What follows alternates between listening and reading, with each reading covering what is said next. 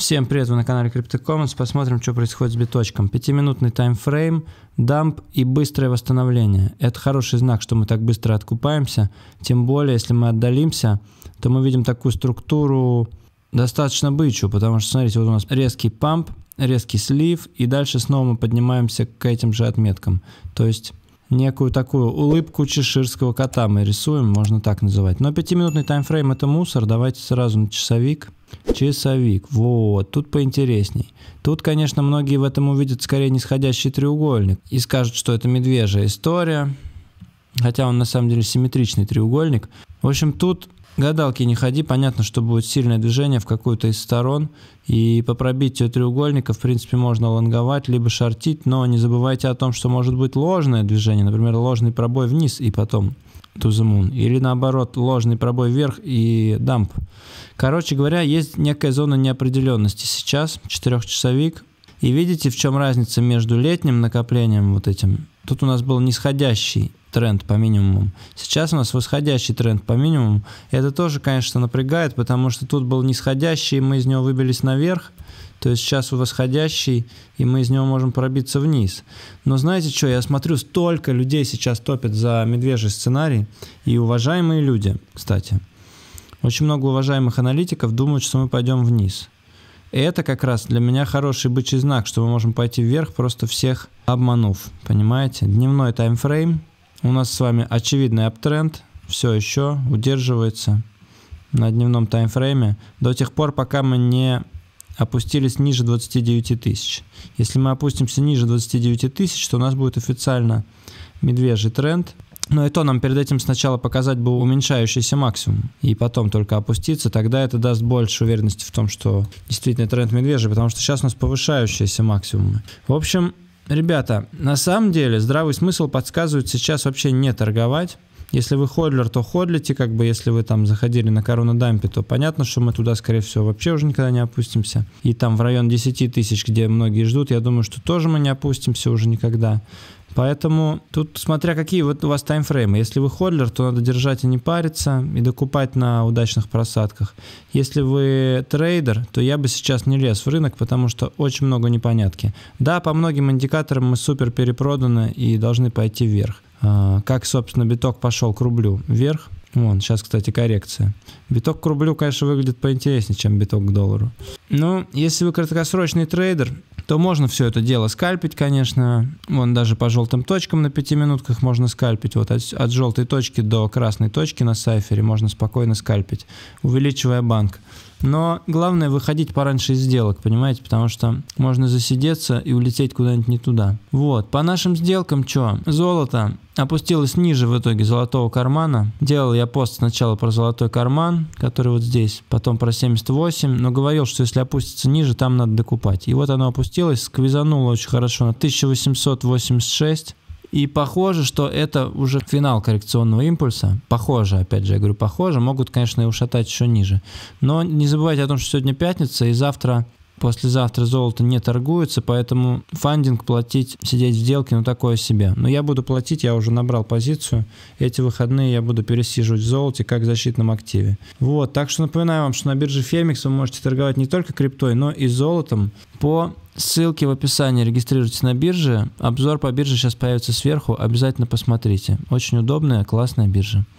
С нулевыми комиссиями, кстати, на споте. Ребята, на споте нулевые комиссии. По премиум подписке она там стоит что-то 60 или 70 долларов в год.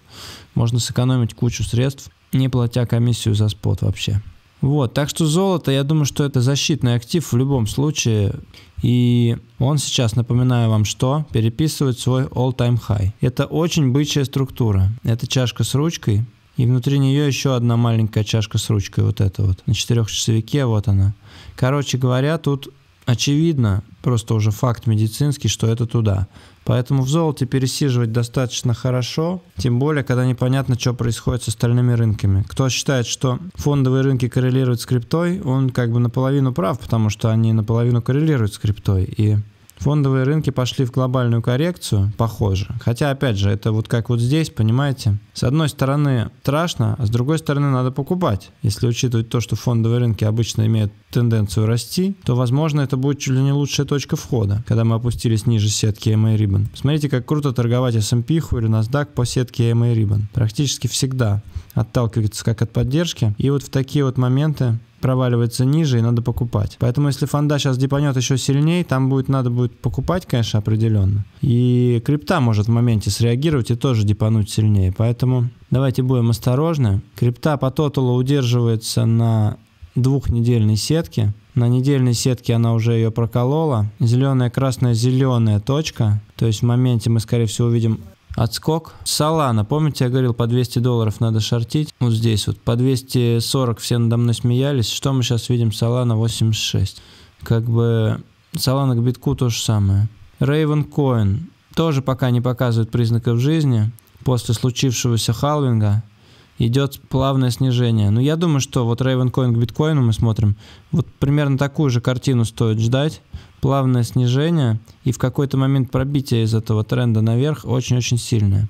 Как обычно он нам и показывает. Вот здесь, вот здесь. Я думаю, по Рейвену все будет хорошо. Он пока еще не пампился так, как Солана. Вот этот как бы только разминочная история была, на мой взгляд. Вот. Золото как стейблкоин. Теперь можно еще и на Байбите покупать на споте и также торговать на фьючерсах, кстати говоря. Очень даже классный инструмент. Как стейблкоин вы понимаете, что я имею в виду, да? Что в отличие от доллара, который постоянно падает и теряет в своей покупной способности, золото это все-таки стейблкоин.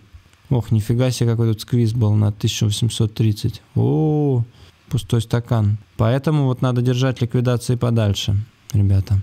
Короче, на Байбите очень удобно стало торговать и золотом можно теперь, и всем остальным. Ссылку на Байбит тоже найдете в описании. Обзор на биржу, посмотрите, он сейчас появится сверху у вас, вот там. Dash, давайте Dash. Dash BTC давайте начнем.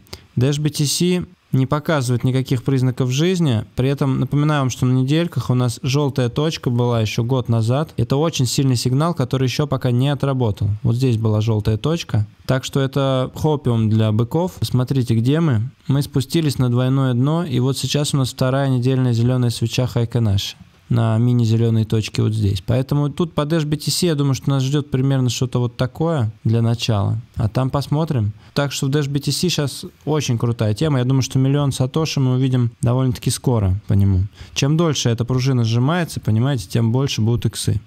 Так работает рынок. Соответственно, Dash к доллару должен переписать вот этот вот хай. Промежуточный хай в 470 долларов. Это вообще ничто это просто мини-бычий, мини-медвежий рынок был, понимаете? Ну вот смотрите, покажу вам сейчас в сравнении с лайткоином. Во. В сравнении с лайткоином посмотрите на Dash к доллару. Вот внизу лайткоин. Что он сделал в 2021 году? Он переписал свой all-time high 2017 года. И сейчас скорректировался тоже до очень прикольных значений. Посмотрите, что сделал Dash. Он даже близко не переписал свой all-time high и тоже скорректировался. Понимаете? Это при том, что Dash монет в 10 раз меньше, чем лайткоинов. То есть он более редкий актив. Ну, плюс-минус там в 10. Сколько у нас лайткоинов? Давайте посмотрим. В 7. В 7 раз меньше, ладно. Лайткоинов 70 миллионов монет из максимальных 84, а Dash 10 миллионов монет из максимальных 18. Так что, на мой взгляд, все так же остается в силе этот прогноз. Ребята, Dash очень сильно перепроданный. Он как минимум вот такое движение, как Litecoin, я думаю, сделает с попыткой переписать all-time high. Оттуда, возможно, еще отвалится и будет где-то консолидироваться. Но в целом, я думаю, что и та, и другая монета пойдет очень высоко в какой-то момент альт-сезона, который обязательно наступит в тот момент, когда этого никто не ждет, понимаете? И вот сейчас уже практически уверен, что почти никто не ждет. То есть вот здесь вот весной прошлого года многие ждали альтсезон. Но сейчас уже разуверились в этом и говорят, что крипта это скам и так далее. Поэтому тут все будет нормально. Вопрос ваших временных горизонтов и умения ждать. Эфириум Classic только чего стоит? Вспомните, к доллару. Вот он валялся вот тут, все также говорили, что это скам. Атаки 51% были и так далее и тому подобное. После этого он что сделал? Улетел с 4 баксов на 110 на Полониксе и на 180 на остальных биржах. Это, кстати, тоже интересный был момент с Полониксом, что они не давали выводить купленный там по 110 эфириум Classic. Ну да ладно, чё? Поэтому терпение, терпение, еще раз терпение, друзья. По эфириум классику, чего сейчас могу сказать, что сетка и Рибан разворачиваются в медвежью сторону на недельках. Это не очень хороший знак. Как бы ему сейчас надо пробить ее и закрепиться выше моментально, чтобы это был ложный разворот. Либо мы увидим более затяжной даунтренд по этой монете еще на какое-то время. Но в целом я жду, что ее все-таки накачают ликвидностью, потому что это настоящий эфир. На нем реально работает и MetaMask, и DeFi приложения можно пилить, и все-все-все, что угодно делать. То есть это настоящий Proof of Work эфириум, как бы, изначальный. Поэтому такие вот дела. Давайте-ка взглянем еще раз на биткоин. Что мы видим в моменте? Опять нас начинают давить цену вниз. Мы видим, что здесь у нас стакан довольно-таки ровный и на покупку, и на продажу. То есть поэтому мы сейчас идем в бок, что нет определенного перевеса в сторону тех или других. Но по лонгам и шортам мы видим, что за последние 24 часа чуть больше народу шортит. Хотя тоже 50-50, потому что вот на Кракене и на Дербите чуть больше лонгуют. Соответственно, рынок в состоянии неопределенности. За 12 часов вот чуть-чуть больше шортят, но в целом 50-50. Так что самое лучшее, что мы можем сейчас сделать, говоря про трейдинг, это подождать, ребята, и встать в тот момент, когда все будет понятно. Не знаю, по моей технике рынок все еще бычий, ребят. У нас есть повышающиеся минимумы и повышающиеся максимумы. При этом рынок дикий и выносит всех и вся, так что не торопитесь с позициями. Не торопитесь с большим плечом, оставьте это лучше на сладкое. Если мы сделаем сейчас вот так, там подключите большое плечо и вернемся в канал, разгрузите. Если мы сейчас сделаем вот так, ну, можете пробовать шорт скальпить, но тоже на свой страх и риск. Короче, вот такие вот дела. С вами был Грини, все ссылки в описании. Ставьте лайк, если вам понравилось, пишите комментарии. И всем профитроли, скоро увидимся, пока.